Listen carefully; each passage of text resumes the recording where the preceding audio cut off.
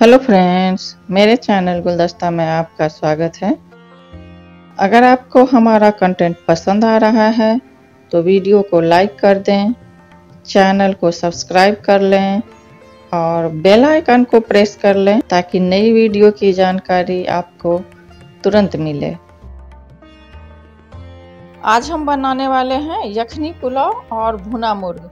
ये और यखनी पुलाव से थोड़ा सा अलग है तो आइए देखते हैं इसे बनाते कैसे हैं और बनाने के लिए हमें किन किन चीज़ों की आवश्यकता है? सबसे पहले हम पुलाव के लिए यखनी तैयार करेंगे।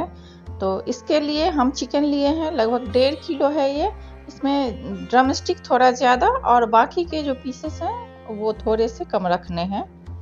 इसे धो करके अच्छी तरह से साफ़ कर लेना है और हल्का सा इसे सूखा कर लेना है, ताकि इसमें पानी ना रहे। यखनी तैयार करने के लिए हमें पाँच से छः प्याज को मोटा काट लेना है। ये डेढ़ किलो चिकन के लिए है। बारह से पंद्रह छिली हुई लहसुन की कली, पाँच से छः इंच के अदरक छिली हुई, इसे छोटे छोटे टुकड़े कर लेने हैं। खड़े मसाले में हमें चाहिए तेज़ पत्ता तीन से चार, तीन बड़ा चम्मच साबुत धनिया तीन बड़ा चम्मच साबुत जीरा, तीन से चार इंच दालचीनी के, पाँच से छः बड़ी इलायची साबुत, एक छोटा चम्मच साबुत काली मिर्च, एक छोटा चम्मच लौंग, पंद्रह से बीस छोटी इलायची और थोड़ी सी जावित्री और एक छोटा टुकड़ा जायफल का। जायपत्री और जायफल को कूट करके बारीक पाउडर बना लेना है। जावित्री और जायफल की कुटी हुई पाउडर हमें पुलाव में डालने के लिए चाहिए। यखनी में ये नहीं डालना है। तो आइए अब हम सबसे पहले फटाफट यखनी तैयार कर ले। तो गैस हम ऑन कर लिए हैं और एक बड़े भगोने में 11 कप पानी हम लिए हैं। पानी हमें उसी कप से लेना है जिससे हम चावल मापे हैं। तो पाँच कप हम चा चावल लिए हैं तो इसलिए 11 कप हम पानी लिए हैं ताकि यखनी बनाते समय, चिकन को उबालते समय थोड़ा बहुत पानी जल जाता है एक से डेढ़ कप तो बाकी का पानी हमें बचे जितने की हमें पुलाव के लिए चाहिए। और अब इस पानी में हमें एक चम्मच घी डाल देना है और बाकी के खड़े मसाले हम डाल देंगे। तेज़ पत्ता दालचीनी, बड़ी इलायची, छोटी इलायची, साबुत जीरा, साबुत धनिया, लौंग और काली मिर्च। छिली हुए लहसुन और कटा हुआ अदरक। और मोटा कटा हुआ प्याज। इससे ढक करके तेज़ आँच पर एक उबाल आने तक पकाएँगे। 10 मिनट बाद हम ढक्कन हटा कर देख लिए हैं और पानी और मसाले काफ़ी उबलने लगा है तो अब इसमें हम कटे हुए मुर्गे का पीस डाल लेंगे।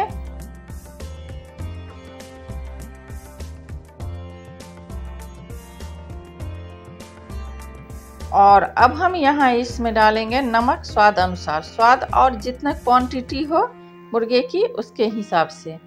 और फिर इसे अब हम ढक कर के तेज़ आँच पर पकने के लिए छोड़ देंगे।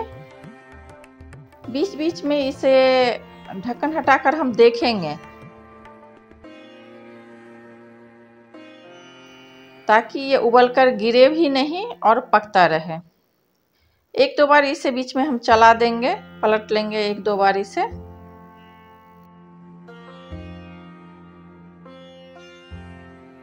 जितनी देर चिकन को पकने में लगेगा तो इस बीच में अब ही हम पुलाव बनाने की तैयारी कर लेंगे। तो यखनी पुलाव बनाने के लिए सबसे पहले इस चावल को धो करके तीन से चार बार पानी से निकाल देंगे और इसमें पानी नहीं रहने देंगे, पानी सारा निकाल करके इसे रख देंगे 10 से 15 मिनट के लिए। इसे बहुत देर तक पानी में नहीं रखना है। मसाले में हमें चाहिए चार बड़े प्याज जिसको कि पतला चॉप कर लेना है। हरी मिर्च पाँच से छः अगर आप तीखा कम खाना पसंद करते हो तो मिर्च की क्वांटिटी आप कम ज़्यादा कर सकते हैं। और कुटी हुई जावित्री और जायफल का जो हम पाउडर तैयार किए हैं वो। अदरक लहसुन का पेस्ट, करीब तीन बड़े चम्मच। और फोरन के लिए कुछ खड़े मसाले। छोटी इलायची, बड़ी इलायची, लौंग, दालचीनी, काली मिर्च और तेज पत्ते।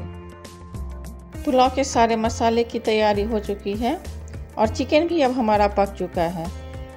तो एक एक करके मुर्गे के पीस को हम निकाल लेंगे और इस सारे पीस को निकालने के बाद इसे हमें रूम टेम्परेचर पर लाने के लिए रख देना इसे ठंडा होने के लिए रख देना है और बाद में इसे हम मैरिनेट करेंगे। और इस मसाले वाला जो ये पानी है, यही यखनी है तो इसे एक बड़े छन्नी पे हम छान लेंगे। और छने हुए ये साबुत मसाला जितना भी है छन्नी में, इसे फेंक देना है। और ये जो पानी है, इसी में हमें पुलाव बनाना है। तो आइए अब हम पुलाव बनाना शुरू करें। इस उबले हुए मुर्गे के पीस को हमें रूम टेम्परेचर पे लाना है। अभी ये बहुत ज़्यादा गर्म है। जब ये थोड़ा ठंडा हो जाएगा तो फिर इसे हमें मैरिनेट करना है। जब तक हमारा चिकन ठंडा हो रहा है, तब तक हम पुलाव बना लेंगे। तो गैस हम ऑन कर लिए हैं और इसमें थोड़ी सी मोटी पेंदी वाली ही हमें एक बड़ी सी पतीला लेना है। पतीला गर्म हो गया तो इसमें हम घी गर्म करेंगे। करीब पाँच बड़ा चम्मच घी हम गर्म कर लिए हैं। घी गर्म हो चुका है तो इसमें हम तेज़ पत्ता और सभी साबुत गरम मसाला डालकर हल्का सा पका लेंगे। और अब इसमें हम कटा हुआ प्याज डालकर थोड़ी देर चलाते हुए भूनेंगे।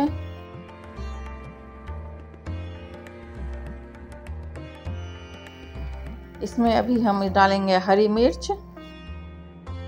प्याज को अभी चलाते हुए ही भूनना है। और अब इसमें हम अदरक और लहसुन का पेस्ट मिक्स कर लेंगे। और इसे अभी हमें चलाते हुए ही प्याज को गुलाबी होने तक भूनना है। तो प्याज भून चुका है तो अब हम इसमें चावल मिला लेंगे। और इसे ज़्यादा नहीं, सिर्फ़ पाँच मिनट ही इसे चलाते हुए हम भुनेंगे।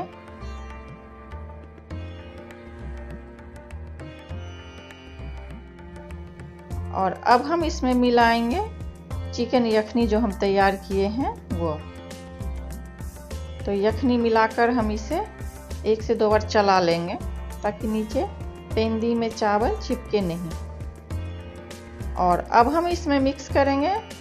हमने जो जायफल और जावित्री का पाउडर बनाकर रखा है, वो पाउडर और थोड़ा सा गरम मसाला पाउडर गरम मसाला पाउडर अगर आपको पसंद हो तो मिक्स करें, नहीं तो आप इसे स्किप कर सकते हैं।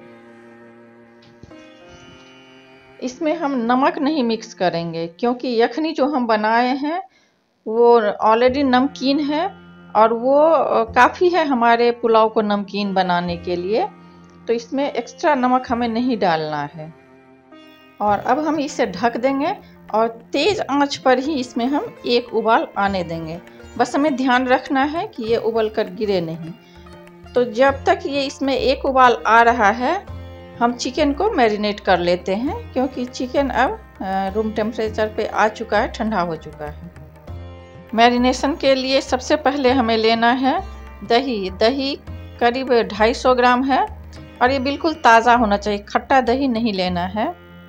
जीरा पाउडर, गरम मसाला पाउडर, लाल मिर्च पाउडर, हल्दी, नमक चाट मसाला और सरसों तेल। सभी को अच्छे से मिक्स कर देंगे।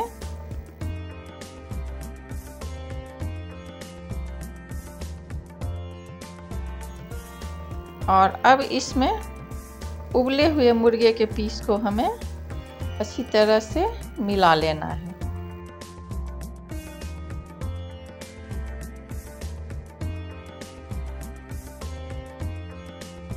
ये मिल चुका है तो इसे अभी हम 10-15 मिनट के लिए रख देंगे भींगने के लिए मसाले में।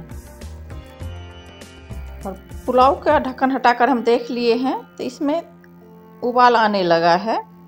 तो अब हमें यहाँ आँच को बिल्कुल धीमा कर लेना है और धीमे आँच पर इसे हमें ढक के पकाना है। तो इसे अब हम धीमी आँच पे रख देते हैं। पकने के लिए, इसे पकने में अभी कम से कम आधा घंटा लगेगा, जो बिल्कुल ही धीमी आँच पे इसे हमें पकाना है। और जब तक ये पक रहा है, हम तब तक मुर्गे को फ्राई कर लेते हैं। तेज़ आँच पर हमने फ्राई पैन को गर्म कर लिया है। और इसमें हम डालेंगे सरसों तेल। सरसों तेल हमारा गर्म हो चुका है। तो इसमें एक एक कर हमें पीस डालना है।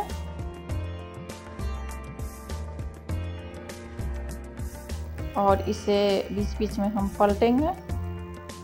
मैं थोड़ा सा इसको कुरकुरा तल रही हूँ।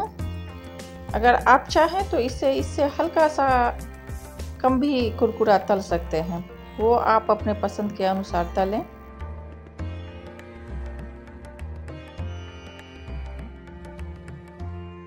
और इसी तरह से इसे बार बार पलटते रहना है, चारों तरफ़ से।